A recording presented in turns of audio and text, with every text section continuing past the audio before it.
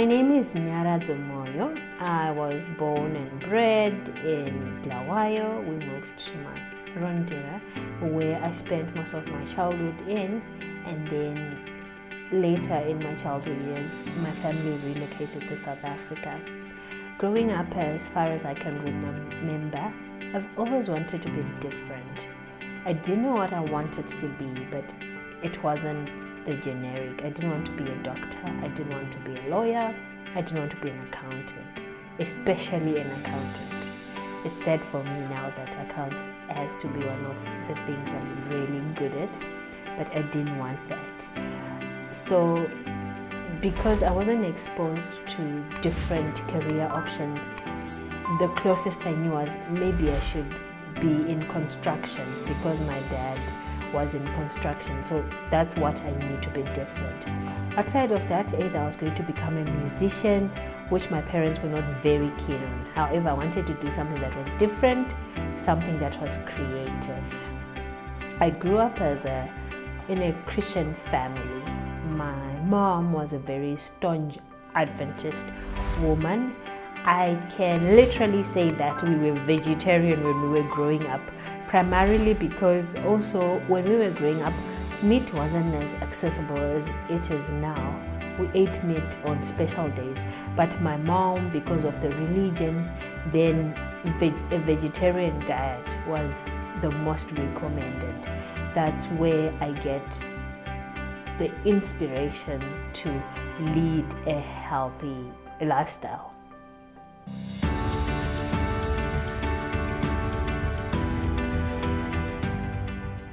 We are Yanaya. We are digital.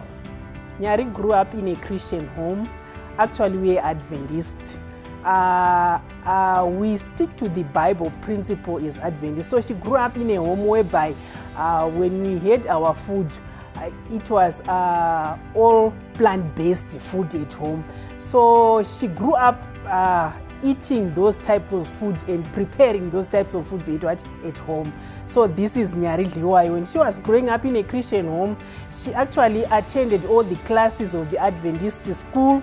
Like uh, she attended the adventurer classes, she attended the, the Pathfinder classes, she attended the uh, ambassador classes up until she got to the youth classes. So in those classes, like at, at, at church, she was uh, learning some of the principles of on how to cook food on a plant-based diet. Then also at home, we're also uh, applying that principle of eating what plant plant-based diet at home. So this is Nyari growing up. Yanaya is a plant-based bread. We're not 100% plant-based because of our environment. Zimbabweans love their meat, so we are here to give them their meat with lots of vegetables, treated differently. Uh, the digital lifestyle has helped us because at the genesis of the brand, the only source where we relied for marketing was online.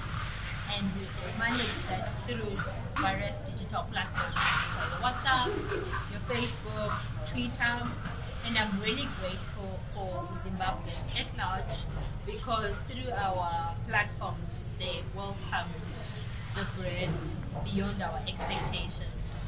We have grown tremendously in the last years, primarily because of the various digital platforms that we have used to create brand awareness, positioning ourselves in the market, placing ourselves, and letting our customers know about our offerings. A friend of mine, when we were about 18, was diagnosed of cancer. So his family had approached naturopathy guys. So they had put him on a vegetarian plant based diet. So when I went fully vegetarian and I was aware that I'm making a decision of becoming vegetarian, it was in support of my friend it was to say you can do it and we're going to do it together. You can conquer this. Unfortunately, he didn't make it, and post his life, I was now doing it in remembrance of him. My dad worked in construction, and most of the work that he has done for all the time that I've known him. He's done contracts, subcontracts, so he didn't necessarily have a nine to five job. He determined how much work he was going to take, when he was going to work, but also it came with a lot of commitment from his end. So growing up, I'd always thought to myself when I grow up, I, I don't want to have a nine to five job. I want to be able to determine how much money I'm making, when I am working, and how I am working. And also, primarily because of our religion, most jobs that people would get would require them to work on the Sabbath. So for me, it was to say I can determine when I work, who I work for, and how I work. Because my major at university was photography, I was involved in a number of photography projects as groups, solo projects. So I have exhibited in quite a number of galleries across the world. I have exhibited locally here in Harare. I am a member of Zimbabwe Association of Female Photographers, also a member of Kwanzaa Photographers. I've exhibited in Cape Town, a number of galleries in Cape Town. I've exhibited in Germany, I've exhibited in Paris. I like money, you know, and I've liked money since I was a small girl. So since I was a young girl, I have always thought, how can I make an extra dollar? I attended camp meeting once when I was still younger, and they did this presentation that said that you, you shouldn't live on one income and sh- you should always be looking at how you can make a dollar a day. That was the lesson. So that's something that I've always carried at the back of my mind that at any point I should be making a dollar a day. So I have been involved in sewing because of my creative mind, I would apply my creative mind in sewing. I have done cleaning jobs whilst I was at uni. I have done lots of cooking. I have been a commercial photographer. I have worked as a designer. I have worked as a marketer. So I have tasted quite a variety of industries that I have been involved in. My decision to return back home was naive at the time, but I said that I wanted to come back home and make an impact. At the time, I thought that I was going to come and use my photography to make an impact. So she started doing uh, work in South Africa, uh, doing some garment designing, uh, photography, um, and the food industry. Um, but still, she had still that in mind to say, no, I don't need to be based in South Africa. She still had the mind that uh, she needs to come back home and start working in Zim. So, 2015, she decided not to be in South Africa anymore. So she moved to Zimbabwe, where she came and um, had some employment at uh, uh, Sidco. Yeah, that's where she started working. But while she was uh, working at uh, Sidco still, uh, she was formally employed, but she would do some jobs for herself outside the employment.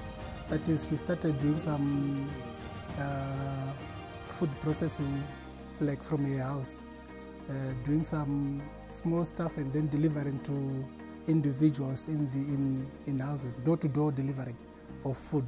Out of the frustration of going out and not being able to find something, I figured that was an opportunity that we could tap into because there were more people like me who were health conscious, who were vegetarian, also from our church, the Seventh day Adventist, which is very strong on the health message. I knew quite a number of people that were vegetarians. The idea was that because we didn't have finance at the time, I was already dating my now husband. We didn't have capital to be able to start a fully fledged business. So I was cooking at my flat. I would work with my friend who I would send flyers that I would have created from my graphic design background that would advertise, would advertise to our church friends that we knew and other people from our circles that we knew were vegetarians. So I would cook from my flat and deliver at people's offices. It was quite overwhelming when we started it because we realized that vegetarians out there didn't have options for them to choose from. This is how we would run the business so that we could leverage on the digital platforms. Every morning she could send me a menu of the food that she wanted to prepare, to prepare on that particular day. And I'll post on social media, that is uh, Instagram, that is WhatsApp, Facebook. Then people would then send in their orders. These are circles from church, from work, and our social circles. So they'll send in their orders, uh, location. Then I'll send back to her. Then uh, she consolidates then she runs with the orders during the day. End of day again, digitally we are then able to consolidate and uh, come out with the menus that we prepared, orders that we're able to deliver on the day and then be able to prepare for tomorrow. Without capital, we had to be creative on ways of how we could reach out to our customers. And the digital world really helped to propel the agenda. At the time wasn't a brand, but the digital world allowed us to speak to our customers, which is up to this day our major playing field where we advertise to our customers, where we engage with our customers. So I would cook at home my friend, whilst I was cooking during the day, would be the one sitting at work when she's not busy, using digital platforms on our Facebook, uh, on our Facebook profiles, on Twitter, and on Instagram, and primarily on WhatsApp. This she would use these digital platforms to send out the menu for the day. People would select what they want to what they want to have for the day. They would write back to her. She would compile the orders, communicate with me via WhatsApp, which is again uh, how the digital world capacitated the idea to bloom because I did not been for the digital platforms, the communication between myself and my friend was at work at the time and me at home and reaching out to the customers, getting the delivery addresses of where we needed to deliver the food, and post that getting feedback and preparing again for the next day. The plans then as a business in light of this shift into the digital world is to go fully e-commerce as a business that is consider e-menus, a mobile app, a faster way of integration of integration payment portals paying on whatsapp. In light of this digital shift in the world where your customers are behind the screen we are looking at a variety of options that we can use as a business to ensure that we achieve the goals that we have especially in the digital world E-commerce has really helped us, especially during these COVID times, as our business is primarily a service industry where we, we are interfacing with people and service industry being the industry that has been mostly affected because of direct contact. So for the past, well, we can say two years, our business we've had to integrate it with e-commerce to ensure that we can continue with ourselves. so on our website, we it allows us to. Our website allows our customers to order from wherever they are, and we deliver to where they are. Our platforms accept all forms of payment, EcoCash, ZiPit, debit cards, credit cards. So anyone from whichever part of the world can buy for their family Currently, we can only deliver in Harare, but we are working on plans to extend the service so that we can deliver all across Zimbabwe. I met Nyari in 2016. Um, I'd come over to Harare as um, um, an assistant at a chief pastor at Mount Pleasant Seventh Adventist Church. Then I got an invitation to go and preach at Harare City Center Church. Um, and there she was. There was this girl with a big afro amongst many other beautiful women that existed in that church. So what caught my attention was just the, you know, the craziness of the afro. Um, and, and, and, well, so I paid attention to that girl. And I was invited over for an all night prayer uh, the same evening after I had preached. When I went to that all night prayer, and you know, there is this girl, you know, she does this beautiful poem.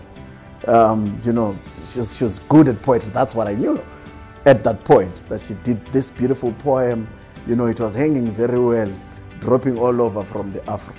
And time came for introductions, and there she is. Then this girl that the pastor has eyed introduces herself and tells people that she's in arts, you know, she's into arts, you know. And you know how it is that we, um, um, our, our definition of what arts are has always been myopic at, well, for one reason or the other, or due to exposure. So I was a bit disappointed. But in any case, cut the long story short, um, she had already seen the pastor also. So she was interested in the pastor one way or the other uh, without even communicating it. Um, so she frequently visited Mount Pleasant church where I was. Yet her church was Harare City Center Church. And um, through all that, you know, she invited me over for, for, for dinner. But I had this young man that had come to visit my house when I started staying in Harare and brought about a prayer request that, Pastor, I'm going to get married in April uh, with my um, uh, fiancée. And the only girl I would see this guy with was Nyari and, you know, no one else. So already my hopes at that point and moment were already crushed. You know, I thought to myself, this is never going to happen because this is the girl this guy has come to the pastor to ask the pastor to pray for. So when she invited me constantly for dinner to her place, I, you know, uh, uh, politely did not go. Found one way or the other a reason of not uh, presenting myself at her house for the um, for the dinner because I knew if I would get there, I was going to end up making my intentions known too, and I would disappoint my fellow uh, young men who had brought a prayer request.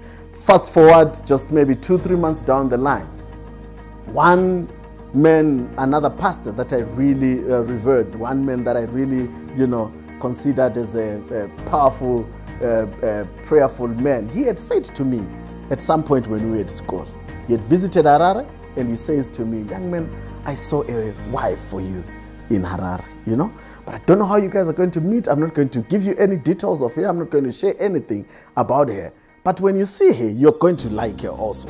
Um, so, uh, one way or the other, if that happens, then you guys will see what to do. But if that doesn't happen, you don't get to see her, that's fine, which means she's not yours. So, when he visited my place in Harare, she came to church on one particular Sabbath. And um, she invited her because they were friends. They had met before, I mean, some, some time back at some camp where he was a preacher or a speaker there. And when, he, uh, when, when she invited her for supper or for dinner at her place, he came to the house and invited me also to attend that dinner with him. And I told him, you know what, I, I'm interested in that girl who invited you, but she's getting married, so I can't attend the dinner. You know, he was very straightforward to say, you know what, that girl is not married. If you're seriously you're saying you're interested in this girl, then you need to go with me. I will prove to you that she is not getting married.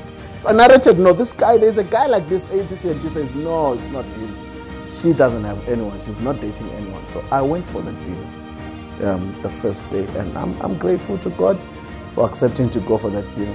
Um, and when, when we got there, the talk could reveal that indeed she wasn't seeing anyone. And I was really worried about that guy that was always in the picture. But anyway, she wasn't seeing anyone. So I really had to then recalculate and reboost that invitation, the personal invitation that was mine alone, so that I can go and make my intentions known. So I sought that after and eventually got that um, invitation set up again. Well, in her narrations, the house was nice, it was clean, um, artistic in nature, very, very, very, very clean. Well, what I then learned later in life is that she had actually washed the curtains and scrubbed the walls just before I came. But anyway, um, the house was very clean, very, very clean, and um, I, I, I, liked her. Sounded very intelligent from the time we spoke. And um, one thing she said to me was, uh, "So if you are um, interested in me, what is your intention? What do you want to do with me? You know, that up front." Um, by that time, I was also very ready then to to settle down. You know, I'd had my disappointments in the past, so I was really, really willing to settle with one who would be deserving and willing to settle also in the nearest future. So she told me, I'm not a master's degree, neither am I an, an undergraduate um, degree. So neither is it four years, nor is it two years. If you're serious about this, you have to do it and find a way. So I told her, I'm going to marry you. So because our business is a perishable business, we are eternally grateful to Econet that affords us an opportunity to be able to speak to our farmers at any point. The name Yanaya has uh, two uh, uh, meanings to it, you know. Um, so in our in our discussions, um, for for starters, number one, when we say Yanaya in Shona, we mean Yanaya, you know, um, kunaya kwemvura, you know, when when it rains, uh, brings about this freshness to the ground. You know, we begin to see the green grass, we begin to see the trees, you know, living up to whatever they are meant to be. So when we thought of Yanaya, the idea was to say, we must bring the freshness, we must bring the life, we must bring the life to the people. When Yanaya is seen, people must be able to live, people must be able to see life um, at the end of the day. And also, looking at that from one end, we then came also and said, you know what, um, whatever it is that is happening now, we believe this is an answered prayer from God. This is God working through all this, and God also intending on inspiring and changing the lives of many people through whatsoever meals or the health message that is being sent out through the meals prepared at Yanaya. So it's an answered prayer from God. God has answered. So when you say God has answered, that's Anaya in the Hebrew. So God has answered Anaya, and we try and then trace the root of this name also from the you know Hebrew context. You know Hebrew names they have uh, uh, roots, they have where they come from, they have you know the, the mother name or things like that. So that then came down to Yanaya, and to us we're like, wow, this is beautiful. So Yanaya on the Hebrew end means God has answered. It is an answered prayer. And Yanaya from our Shona, it means Mvurayanaya, that breath of freshness. So when God answers the prayer, it brings about the life and the freshness. We have farmers that we work with. Our mantra as a business because our business is women owned. We also work with women farmers. So at the end of each cycle, we replenish our farmers with data. We primarily need them to be online all, all throughout our cycle so that we're speaking with them. Also, the digital world has allowed us for our drivers to be able to track where our drivers are, for our deliveries, for our pickups, because we work with different farmers across Zimbabwe. We work with people from Hwange, we work with people from the Eastern Highlands, we work with people from region 2 where we get our oranges. So we work with people from uh, varied places. So the digital world allows us the ability because network is available in all of those places, allows us to be able to speak to them, to transport our goods from where they are to where we are. So we are eternally grateful to Econet, to the digital world, that they continue providing SMEs like us. My biggest fear as a chef is to get a report that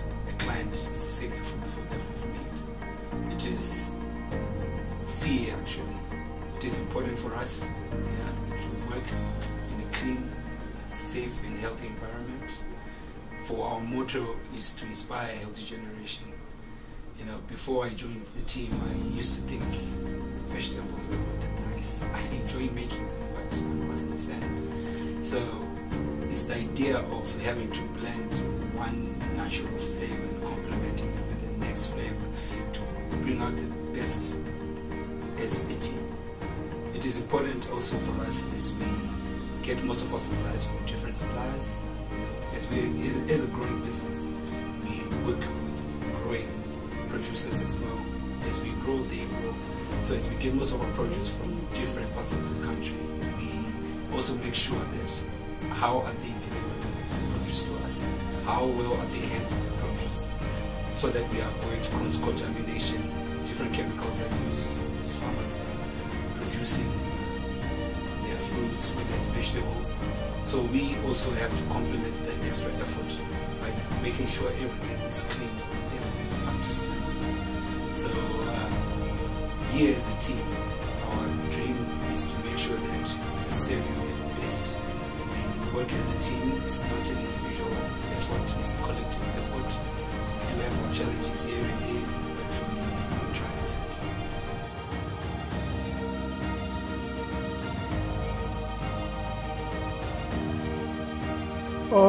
growing up, my sister was a caring person, a loving person, a protective person. Um, most of the time, our parents um, were not in the country; they would be in the diaspora, South Africa, Botswana, Tanzania. Um, so our sister was the deputy parent in their absence. So she would take care of us, prepare meals for us, make sure that we get to school looking clean and good, um, prepare our lunch boxes, and would come back home. She would be the person helping us out with our homework. And um, if we face any challenges at school, we would always know that it's um, safe for us to go to her and tell her. And she was a protective person as well in the community that we were staying in. Um, no one dared to bully us or take a chance of like trying to abuse us in any way because they knew our sister was a very well-known person in the community where we were staying that time. So we would always be regarded as in the community. That was like um, what people would say. So growing up she was that type of a person yes. We are looking at creating a full value system, value chain of our technology from how our customers are ordering from us with Corona. We're looking at contactless menus, digital currency. How can we ensure with the current problems of change in the economy? How can we maneuver that using the digital world to the customer receiving their food, the feedback, how we interface with our suppliers. So we are looking at a, a 360 degree e-commerce solution using the digital world, looking at mobile applications, our website, how can we integrate it better, a variety of payment options, our payment portal, how to integrate it so that we are fully digital. EcoNet Wireless, inspired to change your world.